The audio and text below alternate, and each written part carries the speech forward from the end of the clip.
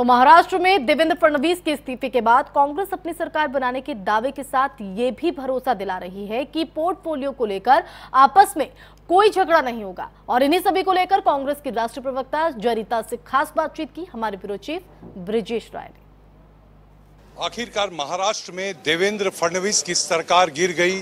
मुख्यमंत्री ने अपने पद से इस्तीफा दे दिया। बड़ा संजोग है कि आज संविधान दिवस है। हमारे साथ कांग्रेस की राष्ट्रीय प्रवक्ता हैं जरिता।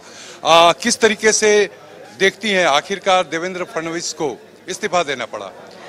देखिए जो गलत काम था वो तो लोगों ने देखा है कि किस तरीके से असंवैधानिक वे से उन्होंने काम किया है।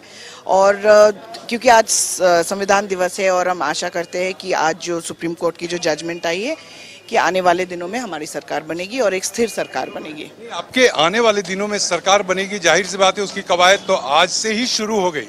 लेकिन ये बताइए कि यहाँ पर कितनी उम्मीदें हैं कि आपके सारे जो गठबंधन में जो अभी शामिल हुए हैं वो कितने इंटैक्ट रहेंगे?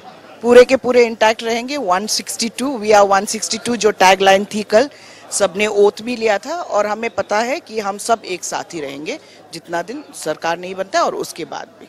जिस तरीके से पोर्टफोलियो को लेकर मारामारी होती है महाराष्ट्र गवर्नमेंट में क्या ऐसी आशंका यहाँ भी नज़र आएगी? ऐसी कोई आशंका नहीं है और हमें आशा है कि मिलजुल के मिल बांट के जो भी पोर्टफोलियोज होंगे जिसको जो देना होगा वो लोग डिसीज़न लेंगे। हाई कमांड के साथ मीटिंग होगी एनसीपी के साथ मीटिंग होगी शिवसेना के साथ मीटिंग होगी और जिसको जो देना होगा उस हिसाब से पोर्टफोलियोज दिए जाएँगे।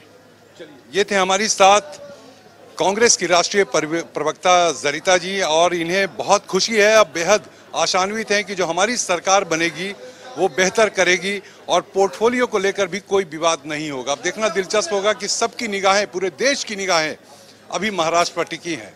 कैमरा पर्सन सुरेंद्र प्रसाद के साथ ब्रजेश राय, आर नाइन रांची।